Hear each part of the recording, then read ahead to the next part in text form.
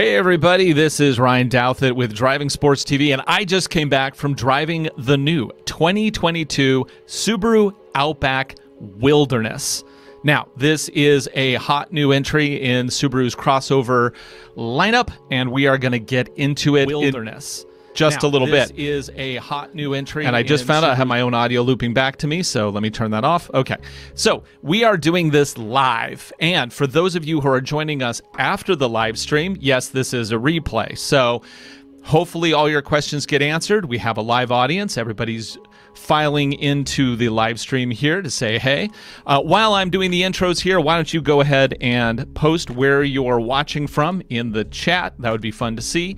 And, uh, whether you're on Facebook or on our Driving Sports Live YouTube channel, both we can read and see, and we will answer your questions a little bit later. But first, I'm going to introduce who is joining me. I have a guest today, and that guest is none other than Jeff Zurschmeide. Jeff Zurschmeide, let me go through the list here of his accolades. He is the writer of the Subaru Builder's Guide, I think is what it's called. Yes, high performance High Subaru performance. Builder's Guide. That is my car on the cover, by the way. I just want to point that out. Um, Jeff has been around the Subaru industry for ever, uh, but he's also just an accomplished journalist in general. He writes for the Portland Tribune. Uh, he's the editor of the Mercedes Star magazine. What else are you doing, Jeff? I read a lot for Sports Car Market. I do a lot of uh, motorsports for SCCA. hmm You know, you know, whatever, whatever comes my way. You've done the Alcan 5000 rally multiple times. That's the event that Twice. I crashed twice. I crashed on it the one time that I tried to do it. That was not excellent. Um, It's okay. I crashed too. Did you? I don't remember you crashing. Well, I kind of crashed and saved it, Yeah. but then my teammate really really lawn darted us in. Ugh. Yeah. So what car were you driving on that one? That was uh, GMC Sierra. So people are saying that they're getting echo on Jeff. I find this interesting. So this is these are kind of the foibles with dealing with a live stream. I'm not hearing any echo at all from Jeff, which is kind of funny. Uh, Jeff, why don't you go to Plan B on, and go back to your your ear mic, and we'll see if that's better because a lot of the folks are saying that there is a lot of echo on their side. Um, we are using StreamYard, which has a lot of cool stuff going for it. Um, however, guests have been tricky trying to get the audio to be what I'm hearing. Um, so we're gonna try. Yeah, Jeff. Actually, Jeff, don't you have? Do you have your earphones in? I do. I do. I'm Yeah, wearing yeah, my he's got earplugs earbuds. in. Yeah, somebody's saying he needs earphones. I'm like, you, you have earphones. We were And just then, using, then I'm using this mic just on the. yeah. So everybody, tell me, is this better? Jeff, start uh, listing off the cars you own because that'll take a while, and uh, people can tell the, us if the audio's okay. Oh, I've got a old, old Jeep, uh, Marine Corps issue, M38A1, a couple of old Minis, old MG, stuff like that. Oh, interesting. So some folks are saying there's still echo. Some people are just saying no. Same problem. I'm, I'm Okay. I'm getting the echo too. Okay, well let's switch back to the other version. We're going to keep your your input short and to the point, so there's minimal echo. We're going to keep the conversation low, uh, but try to get in some of those valuable inputs. Brutal echo. Are your speakers on on your notebook? no, because you're Uh, no, just no. hearing you're just hearing on your earpieces, aren't you? Yeah, yeah. Okay, we're gonna have to chalk it up to uh, w- uh, Streamyard being weird, I guess. Huh. Okay, well, we're gonna go ahead and move ahead here. Okay, okay. and we're going to see how well this works out. And apologize to everybody uh, if there is any echo. We have done all the pre-testing we can. StreamYard's just weird. I will be on the phone with their tech support immediately after this. So let's go ahead and move on. Um, oh, so we just came back. Jeff was at the launch as well too. That's why I wanted him to join me. Um, we both were driving the 2022 Subaru Outback Wilderness. Uh, we are under embargo still uh, because there are so few cars in the U.S. and partially because of COVID, but also because they want to be able to give every journalist equal time in the car before the launch so that they don't play favorites with certain journalists. So therefore, therefore, they have set the embargo for the 17th. It's a politeness thing within the industry. Yes, we could break it, but then we would not be invited for future things, and it's just not cool. You know, the fact that somebody can't get in the car for for a week, they shouldn't be penalized for that. So everybody's our full review will be launching on Driving Sports TV, our main YouTube channel, on the 17th of May. Are we in May? It is May, I think. Okay, May. And what does have you do sign language and hold signs up instead? You have like you'd be like the Looney Tunes. Boing. so we have he is going to do it. Okay, so we um, we flew out to uh, Calamigos Ranch in uh, Malibu, which is where we were in the Malibu Mountains, uh, which is a really nice steery up and down thing. So we're going to talk a little bit about the car, but we're not going to go into driving impressions because those are what are specifically embargoed. The facts about the vehicle, those are not embargoed. We can talk about those all day. And instead of us just talking here, I am going to roll some B-roll so you can actually see the course that we went on uh, while we were there. Um, and if Jeff does, or if I linger into um, embargo land, stuff we're not supposed to say, we're going to have the angry dinosaur cut us off. So if you hear the angry dinosaur, we've gotten too close to uh, to the um, embargo information. So I'm going to go ahead and add this to the stream. This is me getting set. I am in the white one. I picked the one white one. And the reason why I picked the white one is A, it stood out amongst all the others. But also, we filmed this on May 4th, which is, of course, Star Wars Day. And I saw it, I'm like, that's the Stormtrooper. I'm riding in that one, which means I'm going to miss every single turn, right? Stormtrooper, get it? So uh, okay, whatever. Um, oh, and we actually have a member of Subaru PR joining in. No, Jessica, I'm not calling you a dinosaur. You made that connection. I did not. But now that you mention it, I think maybe we will roll with that. So we are being monitored by Subaru Corporate right now. I just want to throw that out there. so uh, have to be really good, really good.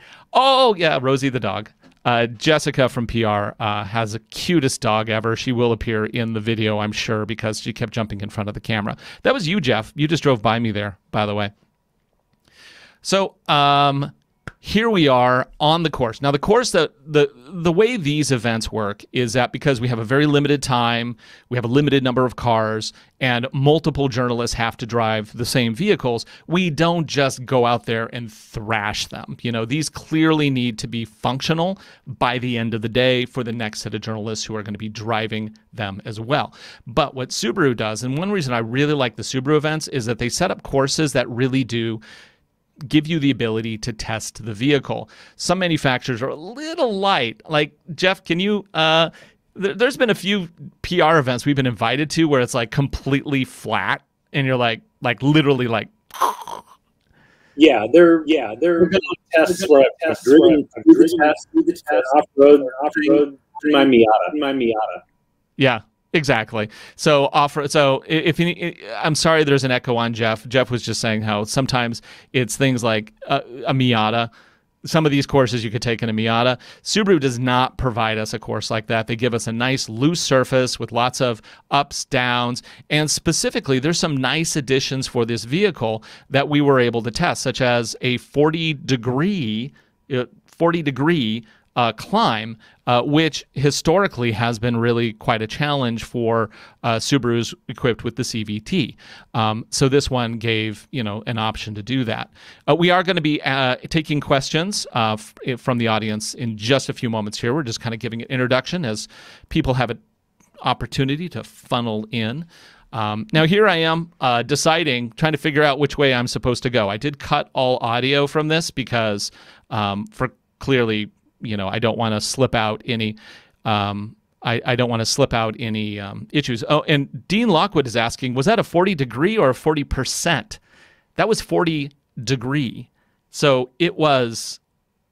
Uh, I think about like that. It is not. It is so steep you cannot stand on it. um, because we used a similar, we used the same road for um, the preview, and I had climbed down that road, and I had, it took me like 20 minutes just to climb back up it because I kept falling down. I could not. I kept, I basically had to like pull myself through the shrubs next to the road because the road itself was not walkable. Walkable, it was so steep. If it was 40%, then that would be doable. But 40 degrees, very difficult. And yeah, 40. Um, so uh, for those who know, do a quick Google search and you can see the difference between percent and degrees. Um, a 45 degree is considered a 100% grade. Uh, and so this is probably close to like an 80% grade, I think. Jeff, does that seem sound about right to you? All right, all right. And would you agree those roads were pretty darn? I mean, they they y- there was no doubts that was a 40 degree climb, right? Yeah, it was really, really steep, and, and um, we, you know, you know, we do is we uh, we try to, try to the, the conditions that Subaru help with, right? Um, people might actually be gone, you know, and and, and good test. Wow, StreamYard is really messing this up. Uh, can can you guys hear Jeff at all? Uh, this is like bizarre. Like in our pre-test, this was perfectly fine, but now StreamYard is totally messing this up. Uh, StreamYard is the backend that we're using for this streaming to bring Jeff in as a guest. Uh, post a comment if Jeff sounds okay, and we should let him keep talking, or tell him that he needs to go just go get a coffee. Barely. I know. I like having Jeff around just to give thumbs up and thumbs down. So, uh, Jeff, you can just hang out, I guess. Um, yeah, echoes galore. Man, you know, you tested in the testing.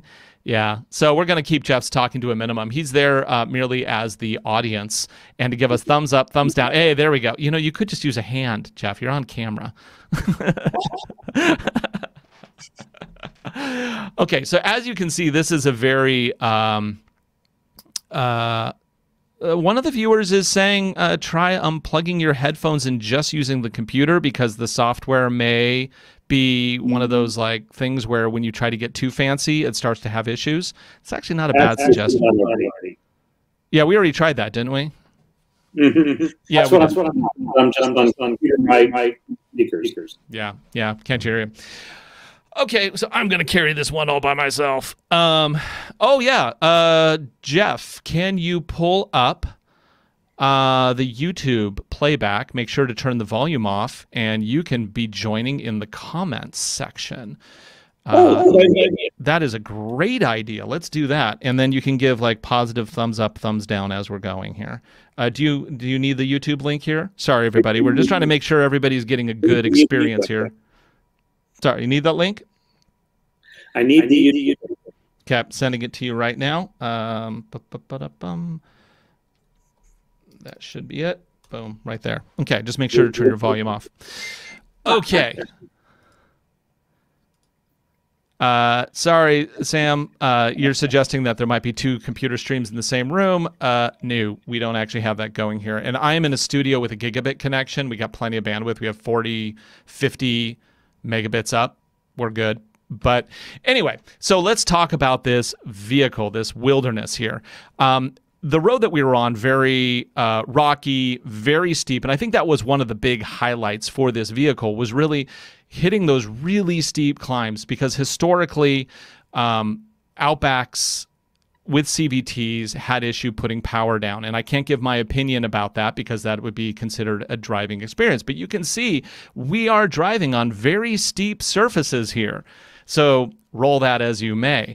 Um, recently, there was a journalist who posited that ground clearance isn't important in a crossover um, what's really important is approach and departure.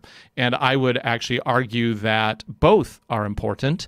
And Subaru has improved them here, but keep in mind this is still a legacy slash outback slash, you know, it's it is what it is. And they've improved the approach and departure. That was one of the tests. I think that was a breakover test right there.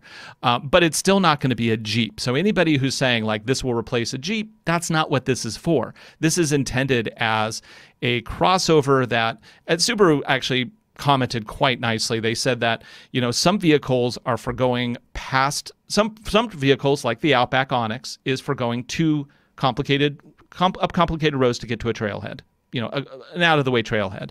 This vehicle is for going beyond the trailhead to the more remote location. If you buy a Jeep or even maybe a 4Runner TRD Pro, that's for going beyond the trailhead so that you have fun with the vehicle off roading itself, doing technical climbing.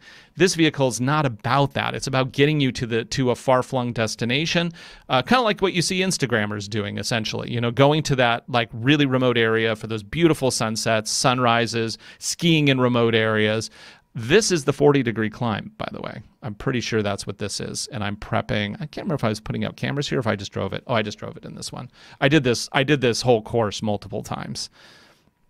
So this is actually you are watching it doing a 40 degree climb right here, and I'm not going to give any opinions about it whatsoever. but you can see it is climbing, and uh, like usual, I do stop and start again. Um, so don't think that the stopping is necessarily because the vehicle couldn't go. Sometimes it's me stopping to test the system. Which, when we do the full review, which is launching landing on May 17th, you will hear more about that and get some more results uh, on that. Um, let's go over some of the stuff that is changed for this vehicle just to get everybody up on the same page if you're new. Subaru said they did a ton of research and they actually, uh, for those of you who know the Mountain Roo community, they actually did engage with the Mountain Roo guys uh, to see um, what their thoughts were about this vehicle. And uh, what they ended up getting is 9.5 inches of ground clearance, uh, approach angle of 20 degrees, breakover of 21 degrees, departure of 23. Compared to, you know, family vehicles, that is excellent. Compared to a Jeep, it's not quite there for obvious reasons, but it's good enough for roads like this. Um, and then it is based essentially on an Onyx XT because it has a very similar interior uh, as the Onyx XT. Plus, it also has only a turbo motor. You can only get the 260 horsepower, 2.4 liter uh, turbo engine, which is the four cylinder boxer, and of course, symmetrical Subaru all wheel drive. And it also, of course, has X mode 1 and 2, and the 2 is an enhanced version with extra wheel spin, and it will not shut off at speeds over 25. So you can set it, drive all day, turn it off, don't have to be constantly turning it back on if you're in complicated situations. Right. So um, now that we're all on the same page, let's take some questions. So um, I'm going to have to scan into the back here. Of course, let's see, who do we have here? We have people from Virginia, West Virginia, Romania. Hey, Romania. Uh, Oklahoma City, somebody watching from Philly, somebody across the water over in Gig Harbor. Uh, Jeff, you're down in Tillamook. He's Tillamook. He's down in Tillamook. I answered for him.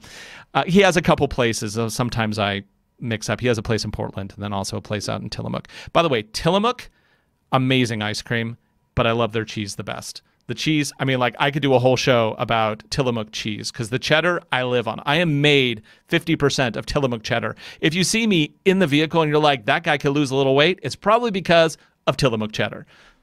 So just want to throw that out there. Uh, okay, let's look at some questions here, not about cheese.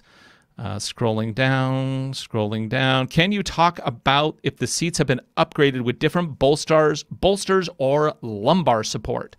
I would say, having driven fairly recently 3,600 miles in an Onyx XT, the seats felt exactly the same to me.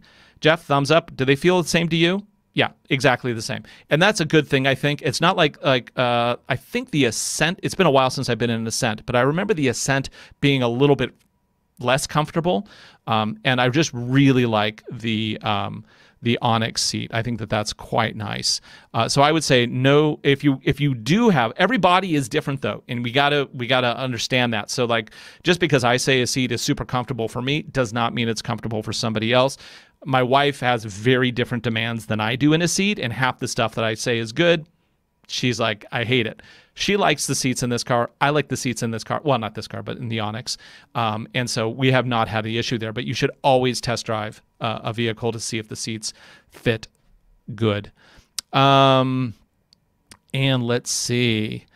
Uh, the heated steering wheel, I did actually. Okay, so I also want to recap. I did send Subaru PR not Jessica, who is in the chat with us, but I sent it to Chuck, by the way. I think, and I got an out of office message, so I don't know if he has a, the the week off or what. But um, I did send some questions over to Subaru, and there was a few things that I'm still waiting for answers on. Unfortunately, have not seen them yet. Um, let's see. So the next thing, I, I can't remember what I was going off on that one about. Uh, let's see. Oh, it was the heated steering wheel. So yeah, that was one of the questions. Actually, was it? That was a question that I'm curious about because I know sometimes Canada gets a steering heated steering wheel, but we don't in the states. For a vehicle like this, it did not have a heated steering wheel, um, and I really wish that it would uh, because I think that's something kind of missing um, in this vehicle. Um, Jeff, would you you'd be a fan of a heated steering wheel in this one, wouldn't you? Think he's going to be answering in in comments down there. Um, let's see what would what would I like better, Wilderness or Touring XT? So I'm going to talk about that outside of driving impressions because I don't want to anger the dinosaur. Ah, no, Jessica, I'm not calling you a dinosaur. Jessica's from Subaru PR and she's she's a wonderful person. I would never call her a dinosaur. She's the cutest dog too. Anyway, um, I personally would go with a wilderness because it's more suited to my my thing. Uh, one of the nice things about the Touring, Touring XT uh, is that it has that face scanner. So if you have multiple drivers, it'll set up user preferences based on who's driving. For some people, that's an important thing. For me, we have multiple cars. My wife has her own car. We just don't really swap drivers that often. Um, also, you get a little extra sound deadening in the Touring because you have acoustic glass on the sides and the front not a big deal for me. Um, I drive again a lot of cars, so having the absolute quietest experience isn't the biggest deal for me. Uh, so I would say that uh, I would lean towards the wilderness myself. However, the colors are really like if you look at all the different colors that you can get this car in, from the white to the blue, uh, to the black to the green, the cladding looks makes the car look very different depending on what color you choose. Like this white here, I picked it because it is one of the most obvious, like, here's all the cladding. A nice shot there. Sorry. Uh, this is this is in slow motion, clearly. Um, and so, uh, but depending on what you think of the cladding, like if you want to minimize the cladding, obviously the black or the dark gray is going to like minimize that. So I don't think the cladding is necessarily an issue unless there's a specific color you want where the cladding doesn't work. Um, some people are going to love the cladding on the white. Some people are going to hate it. Star Wars fans, Stormtrooper, going to love the white. Uh, let's see. Let's go down to more questions. Okay. Wow, we are way back. I'm yeah, the slow mo crotch shot. You like that one, right? Uh, when will these be arriving in dealers? I believe they're supposed to be hitting manufacturing really soon, so we should see them in dealers by July. Jessica, can you uh, give us a comment on that one in the chat, please, uh, if you have information about that as well? Uh, and then I'm going to guess here. Somebody's asking about the Forester Wilderness and the Crosstrek Wilderness. Now, there was some information that was leaked. Um, I do not have any actual information uh, about when it's going to be happening. I expect that we'll see. Oh boy, I can't even remember because uh, I saw that sheet so long ago. Jeff, did you ever see that that leaked document that showed when the Crosstrek? No. Um, I, I, mean, the way Subaru typically does it is they do one thing per year. Um, so I would expect that over the next two years we will see probably the Forester um, because the Forester is getting the next major upgrade. Uh, so that probably see the Forester. Although that, that would explain the, why we would do Crosstrek because Crosstrek's not getting a major upgrade next year. Hmm. No idea. Hard to speculate about future products, and Subaru is not giving. And the, because of COVID, everything's messed up. So any even though that previous document that did leak is probably not accurate anymore. Um, some people um, I know online were asking. Um, uh, what was it? It was about uh, changes to the drivetrain. So the the drivetrain itself does, so far as I know, does not have any additional additional cooling. There is one thing that is new that I am. I have an email about details. Oh, Jessica from Subaru PR says it will be quote in retailers this summer. Thank you, Jessica. I appreciate that. Um, And guys, don't be bugging Jessica with questions directly. She works very hard. So I appreciate that she's here, but let's not gang up on her. Um, so there is a, an addition of something called a transmission pressure sensor that I have requested more detailed information about that is supposed to give it more ability to climb steeper grades. And how and why that works with that, I'm going to include in my upcoming video because uh, I do not know. You can see what it's done in this video. This is for those who are joining late. This is my uh, the the GoPros mounted on my uh, loop on the off-road section of um, the course that we were driving these vehicles on. Uh, so this is actually the the course that we did the off-road testing with. Um, let's see. Uh, towing, as before, is 3,500 pounds. Uh, towing options are going to be exactly the same. Like the, the tow hitch and whatnot that you can get for the Onyx is going to be the same one that you can get for the Wilderness. You, got to keep in mind, the Wilderness is, for all intents and purposes, it's it's the Onyx as far as most stuff is concerned. Uh, the only difference is, is of course, you know, the, the little transmit the little changes that they made to the drivetrain, um, and they are also offering more underbody protection with that secondary skid plate, fuel tank plate, and then also a rear diff plate.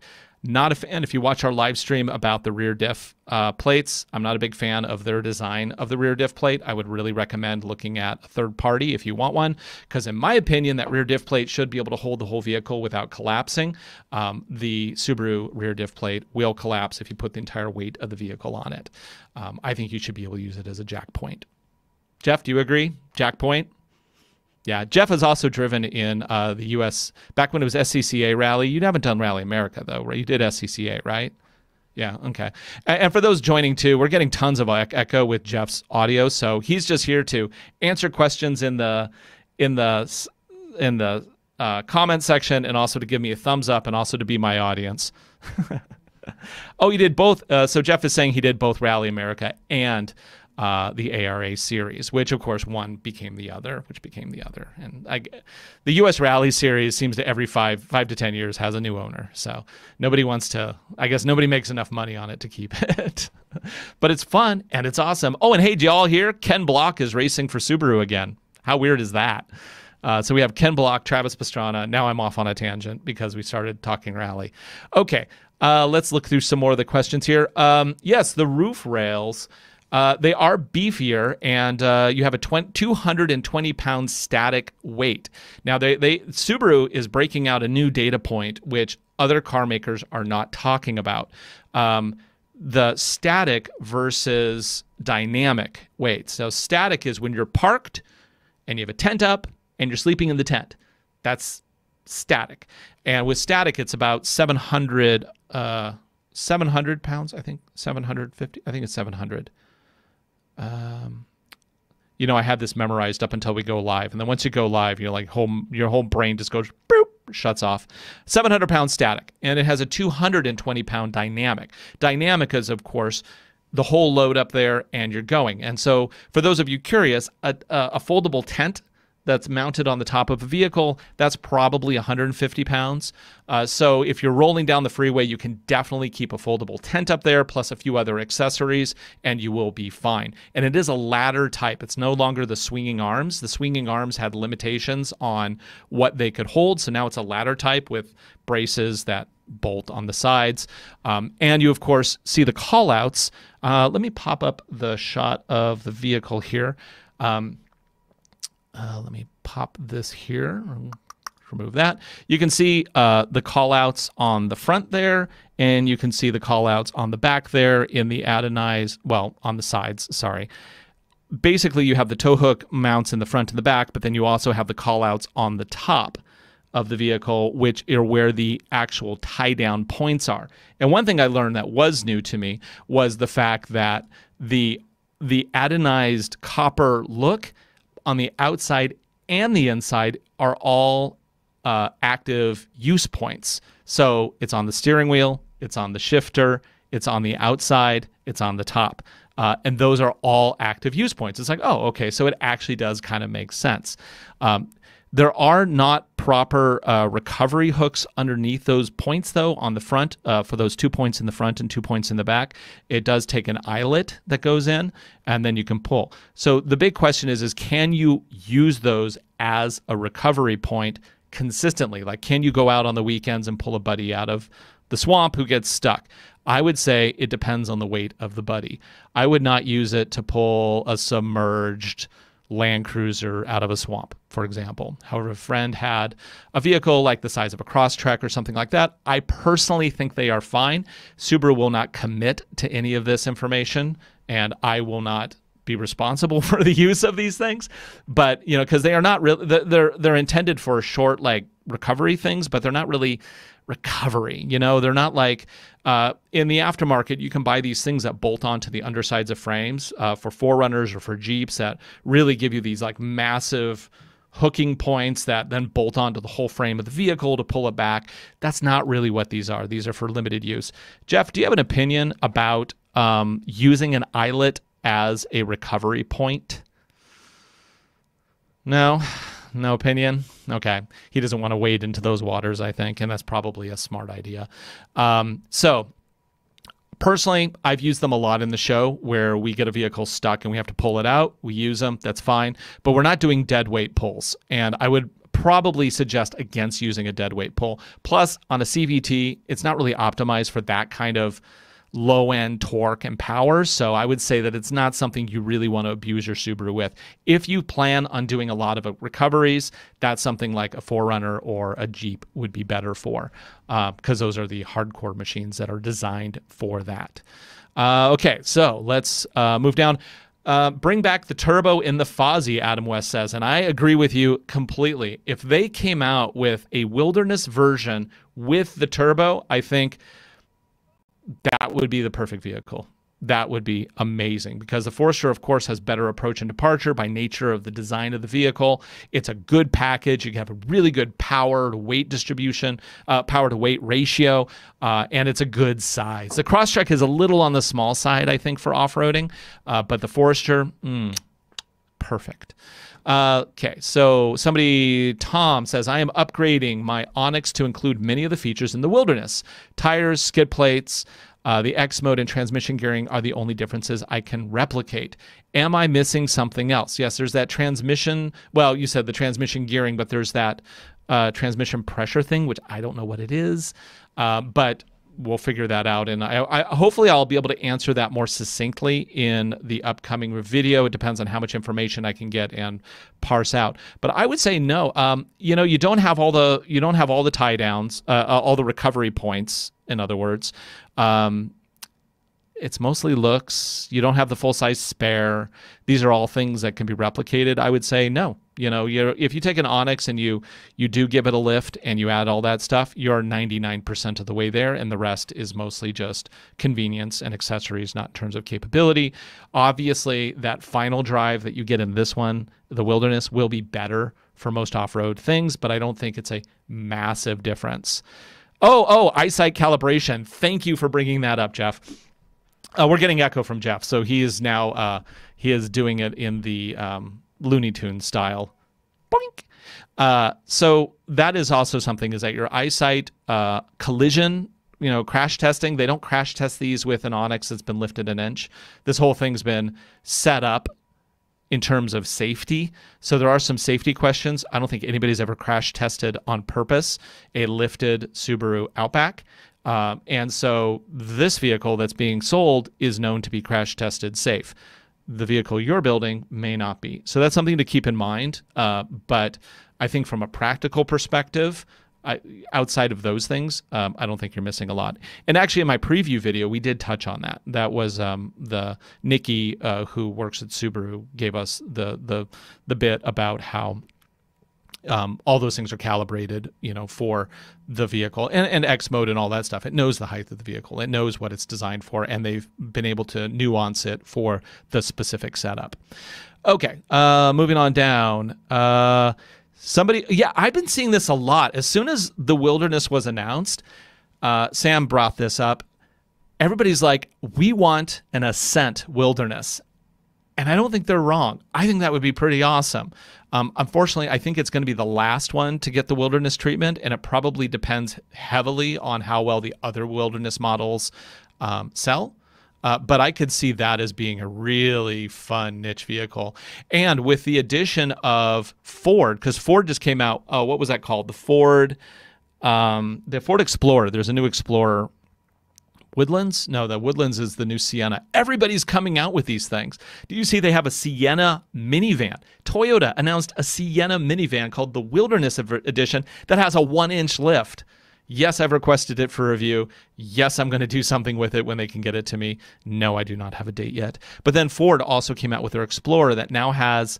It's funny, it's lifted, yet it still doesn't have as much ground clearance as a normal Subaru. So, yeah, take that for what it's worth. Uh, Explorer Timberline, thank you. That was it. You know, all these names start to sound the same after a while. I have to say, the Timberline looks great, though. Um, the Timberline is really a sexy looking beast. Um, if you have any other questions, uh, feel free to um, pop them in. Uh, and yes, the Sienna review, I am looking to see. I need to get more specs about the vehicle, and I need to see what tire they they they send it to us with. Uh, but I will try to be as extreme as possible with that. Uh, Toyota seems to enjoy it when I do that to their vehicles, so yay, win-win for everybody. Uh, so we'll see. Uh, but yeah, an all-wheel drive Sienna with a lift is great. Uh, it kind of looks like a Forester Sport with all the orange trim pieces.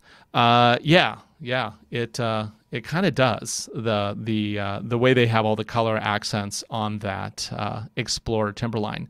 So for those of you just joining this, this is a slow motion shot of doing a small rock crawl uh setup in the uh, Outback Wilderness. This is super slow motion, of course. Slow motion because it's not edited. I just exported this for sake of of this little video so we could see it in action. So it's going to be very dramatic as it goes over. Uh, but of course, in our full review, we will, you know, you, you you'll see. Oh yeah. yes, th- there will be a crotch shot coming up, unless I, of course, stop it before that happens. I might. Uh, the tires that this thing comes with are, of course, trail tires. Now, this is something that a lot of people confuse.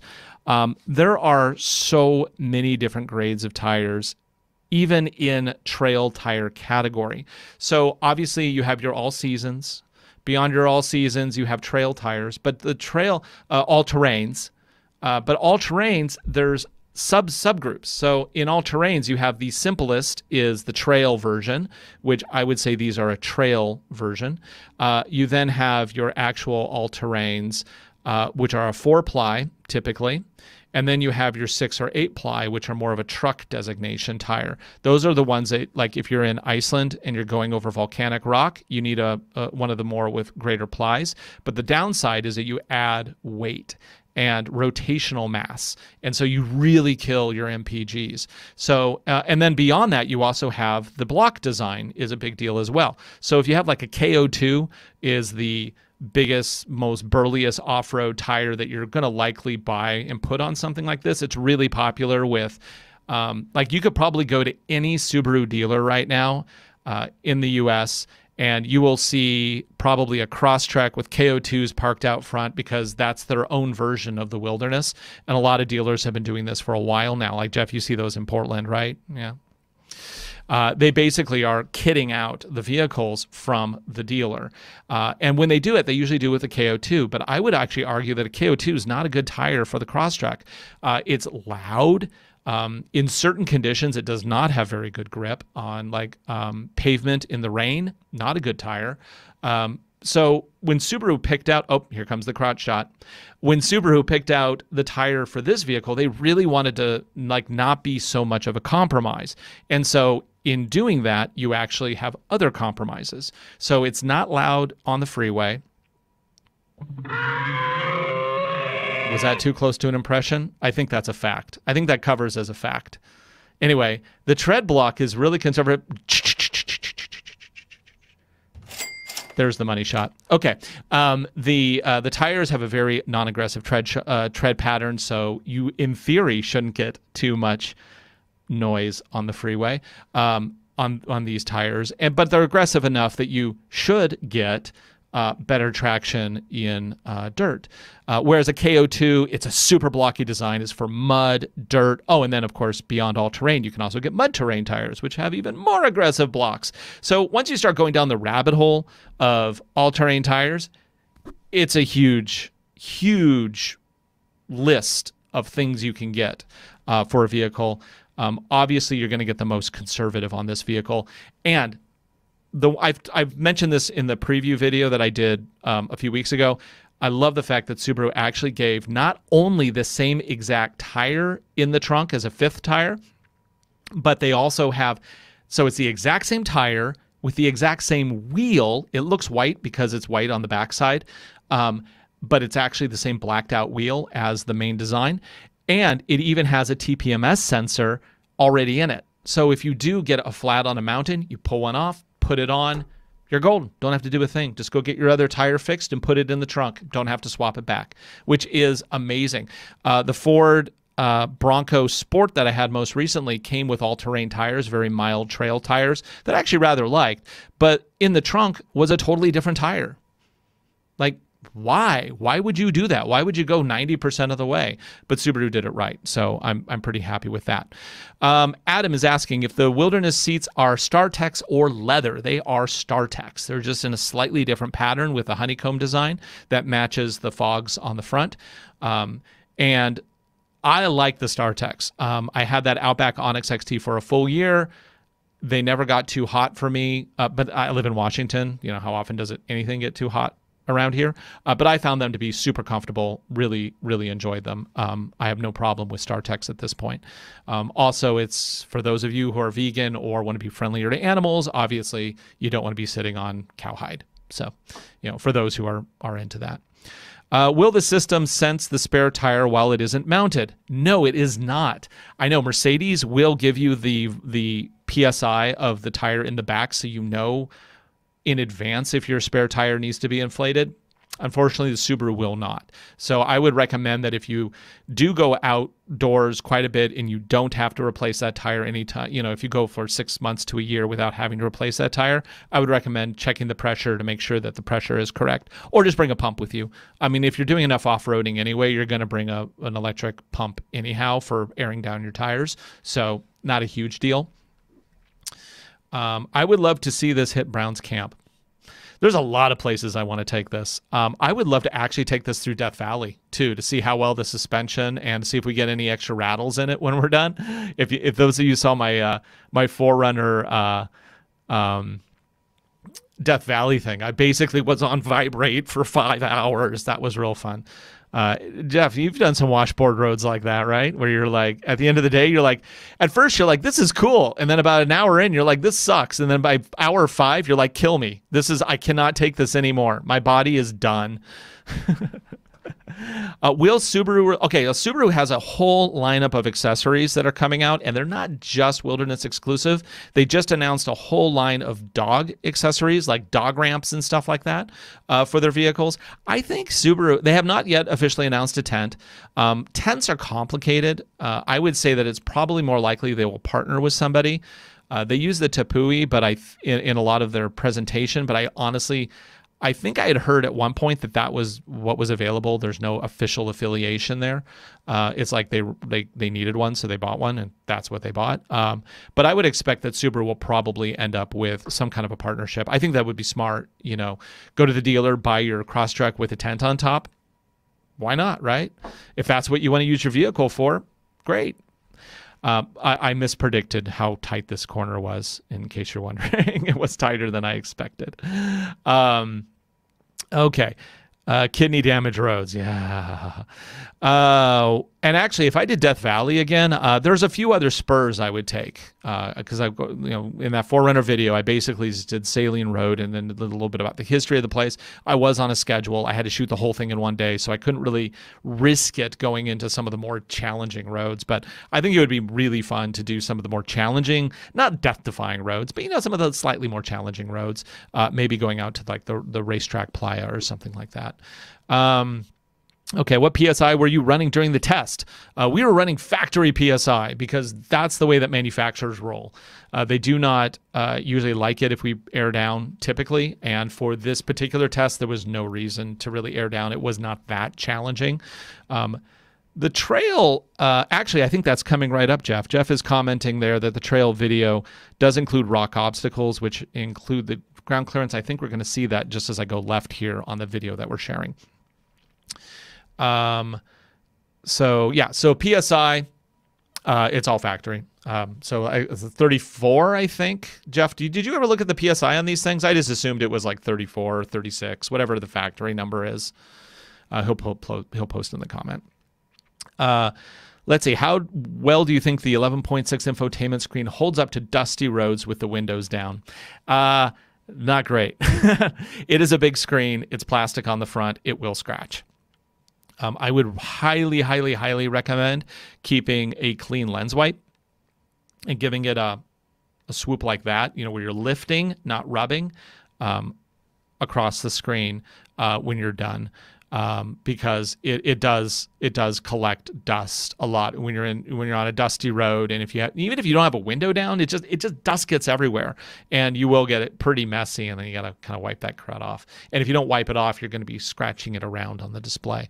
I didn't notice anything uh, like when the one year that I had the Onyx XT I didn't notice anything alarming like there were no big scratches. You want to talk about scratchable? My 4Runner already has more scratches now on its 8 inch display than the Legacy had on its 11 inch. And I have driven, I drove the Legacy 4,000 more miles at this point than I have the 4Runner. So um, it's not just Subaru. Obviously, it's a big screen. You can get screen protectors. I've been seeing people in the Outback groups um, basically custom cutting uh, screen protector film on top of it. If you want to, that's a great option.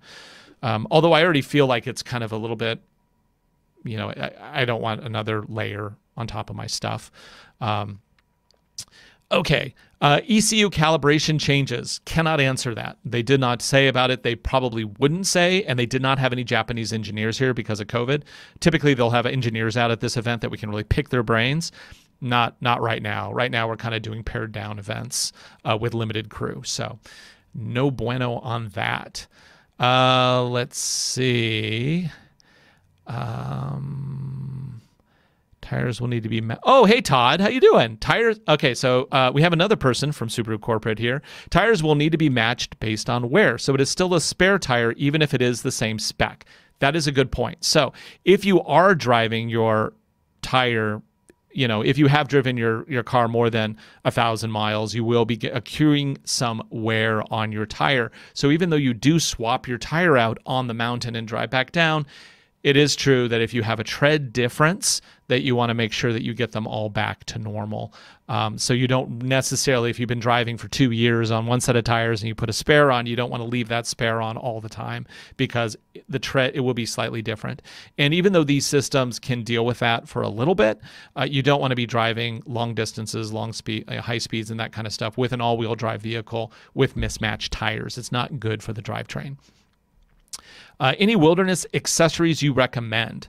Uh, mm, normally, I would recommend skid plates, but I have to say that the primitive skid plates are so nice. Uh, they're next level. I, I would say that if you're casually just going to trailheads, the Subaru ones are fine. If you plan on like serious adventuring, like off the beaten path, definitely get the full primitive underbody protection kit.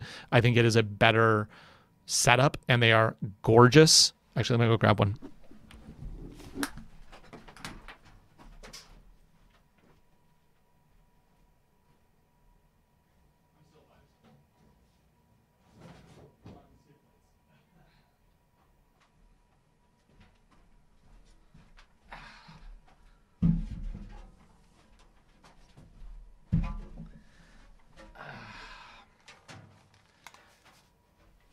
So of course I just happen just happen to have a massive skid plate right here from uh, Primitive. So uh, you'll see this thing's a little bit bigger than the Subaru one. It's like twice the size, and it's that that is some strong stuff. And it even has a beautifully tailored oil drain point right here that you just remove that off and go off. And they have the full underbody kits for these things. Oh my god, that's that does add weight though. So uh, yeah, the primitive stuff is amazing. You can jack up a car with that. You can jack up a car. Any of the underbody skid plates from primitive, you just put a jack on and lift the whole car, and it's fine. Um, they also have a really good. You can get the whole kit from them. Um, I don't think the we need to confirm that the mounting points are going to be the same still, and Primitive won't sell it to you until they do confirm that. Um, but you might give them a call and see. Uh, the moment they see one, they'll try throwing one of these on. And and I'm actually keeping this around because I'm hoping that Jessica, that I get another Wilderness long term, so we can put that on it and see if it fits. Anyway, uh, uh more questions. Um, let's see. Uh, oh yeah, so uh, specific options uh, that are specific to the wilderness. Uh, there's nothing else. I, I mean, the wilderness comes pretty preloaded, which is kind of nice. You know, uh, I would get a roof rack uh, that where I could put um, recovery boards and a shovel. I'm actually shopping for those right now for my 4Runner. I have not decided what. The problem I'm finding is that a lot of the custom ones, like the really nice ones, they're one year out on manufacturing. It's like wow, I, I need it now. I don't need it in a year. Um, okay. Let's move on. Is there any insight about when some some of the parts used on the Wilderness might be available in the supply system to order? The hood sticker, the black window trim to replace the chrome window trim on the Onyx. Yes, I do agree that the window trim on the Onyx should not have been chrome.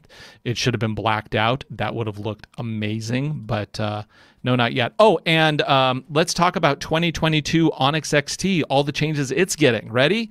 I have all the facts for you right now. This is an exclusive. I know Jessica and uh, Todd from Subaru are like, what's he going to say? They're exactly the same yeah, it's 2022 is a complete carryover for all other uh, Outbacks according to Subaru. So the 2021 Outback uh, Onyx is exactly the same as the 2022. Uh, that's according to Subaru PR.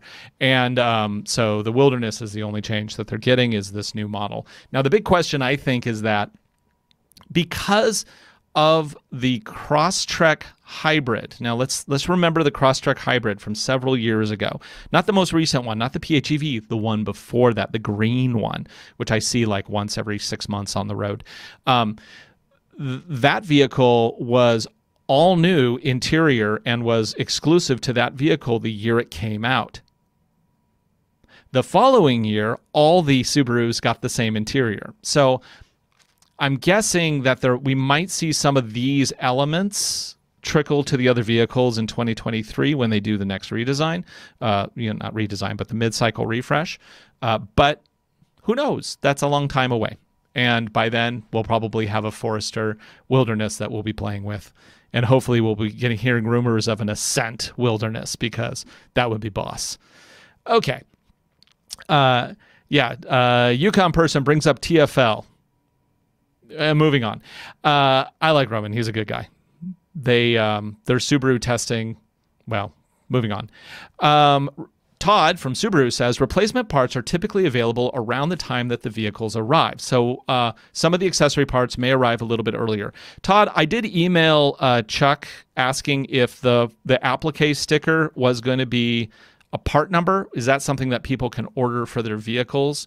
Uh, do you know if that's going to be an, an, an option uh, in terms of like a part number option that people can order. Uh, because obviously you can go to a sticker guy and just have him do it, but it would be so much easier if you can just call up Subaru and say, yeah, give me part number, blah, blah, blah, blah, blah. Um, is the Wilderness better on off road all rounder than the 4Runner? Okay, so I have to avoid the dinosaur so I am not going to give driving impressions, but I will say that if you just look, I, I have to I have to approach this from somebody who has not driven the vehicle. Um, if you just look at the the way that the vehicles are positioned and the way that they are designed, the um, the Subaru Wilderness being the Outback Wilderness being more of a car unibody, the 4Runner being more of a truck, a more truck-like experience is better off-road in certain conditions better approach angles, better departure angle, better breakover. Um, the car based unibody is going to be better on the road in general.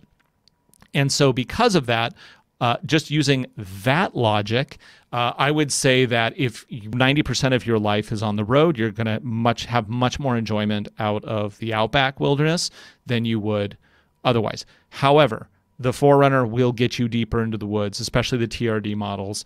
That's just nature of the way the system is designed. Also, the crawl control feature. I did. I every time I have driven, I have now, you know, seen this car twice, and every single time I bug the PR people need to add crawl control to the wilderness. You add crawl control, game over. Like, why would you buy anything else?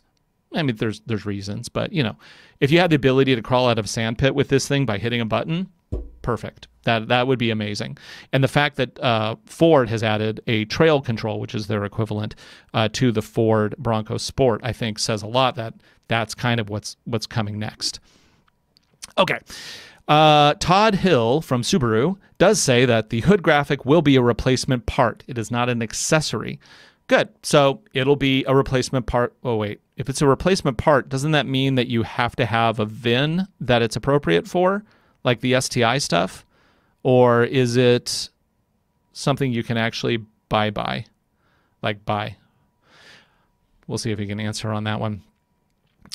Uh, yeah, and that this is something to keep in mind too. Subarus are already very capable. If you put the correct tire on them, like if you take any Subaru and you put a proper tire on it, it still has best in class ground clearance. It still has a really good all-wheel drive system. Do you need a wilderness to go, you know, deeper and deeper into the woods? Eh, probably not. You can probably do 90% of I I know most of the problems that I have are me, not the vehicle. Uh, because most of these vehicles are amazing. Like Jeff, you've driven some old cars that, you know, it's not the car most of the time. Usually it's the driver. Is there an approach? Now, yeah, you you know, I can set up a situation where it's like, "Oh, well, no other car could get up this." And yeah, it's true, but usually there's another way you could have gone or a way to do it or something. So, do you need to trade in your Subaru to get this one? Eh, probably not. It's you know, unless there's something very specific. I would say you would get this one if you're ready for a new car anyway. But I wouldn't trade in like an Onyx, like, ah, oh, it's a crotch shot again. Sorry, I, I, I, I just, I just exported the whole reel. I didn't, I didn't mean to do that. Um, Todd says you can buy without the VIN. Subaru uh, for the front sticker. Subaru retailers will often ask customers the VIN when looking the part number up because it's quicker for them. Uh, yeah, agreed. So, thoughts on the new Wilderness Edition X Mode calibration? Uh, that would be part of embargo. Um, I will say that from a non embargo perspective, the ability to turn on an off road system and have it not shut off for you is an actually valid thing that needs to be on a vehicle that purports to be an off road vehicle of any caliber. You know, if you're, I have been on the sides of mountains covered in snow barely crawling forward as all four wheels are chugging to get me through it. And if those systems shut off halfway through getting through the deep snowdrift, that's not good. So I think that it's uh, it is just by nature of what it's supposed to do is a valuable addition, and it's one of those things you see on a sheet and you're like, good, they needed to do that. I still think they also need to add a crawl control feature. Do we know tire options for this? Uh, yeah, as Jeff points out, they didn't mention any tire options, uh, just the ones that they had certified, which are these Geolander, Yokohama Geolanders. Now, this is important. If you're looking up the specs of the Geolanders, I'm not sure how to pronounce it because there's an extra A in there, Ge- Geolandar. Uh, I think it's just Geolander. Um, there is a more hardcore Geolander tire. So if you're looking it up, make sure that you're looking at the Subaru spec one, which I don't think you can get in aftermarket yet because I think it's a new tire. Uh, but you know, it's just like uh, the Falken Wild Peaks, so you can get on the Bronco Sport. Uh, those are not the aggressive ones; those are the trail ones. Which on my 4Runner, I now have the aggressive ones, and they are very different tires. They just happen to have the same name. So if you do look up specs on the Geolander, make sure you're looking at the right spec, not just a Geolandar. Or you'll see that it's like, yes, good for extreme off road. These are not, these are mild all terrain tires, which are a nice improvement, good compromise. And I'll give you my opinion later about that. I think we're going to probably wind this up now. Uh, I want to go get some lunch. I'm sure everybody wants to get some lunch. Uh, so I want to thank my guest, Jeff. Sorry we didn't have audio on you because the echo in this system sucks. So I'm going to have to find a alternate uh, way of bringing guests in. I mean, there's 50 ways I can do it. I can bring them in, whatever. I have a whole studio here, but I thought this would be an easy way because they say it works, but it doesn't. Anyway, so uh, Jeff, thank you for taking uh, time out of your morning to join us here. It's always great to have somebody else to talk to. I also really want to thank um, the guys from Subaru from jumping into the chat. I didn't know they were going to be here, and it's really great to have them on the line as well. Uh, so thank you to Todd and Jessica. Um, looking forward to see you guys again. Uh, anytime you want to deliver me a long term wilderness, I am ready to accept it. Uh, and again, thank you everybody. Please sure to subscribe. I need to get a thousand subscribers on this channel so I can get my own custom link, and I can also start streaming live on a mobile device. That's one of the restrictions that YouTube gives. So please hit subscribe, even if you don't plan on keeping a subscription for all time. Subscribe so I can get to that thousand so I can start getting some of the extra features on this secondary channel. Of course, also on our main channel, we have the full reviews. I have a full preview of this vehicle that I posted a few weeks ago. It has like 600,000 views or something. Uh, that is available on our main channel. And the full review for the Wilderness will be coming up on May 17th at 9 a.m. Pacific. Thank you, everybody, for watching. For Driving Sports TV, I'm Ryan Douthit. We'll see you again right here next week. Bye.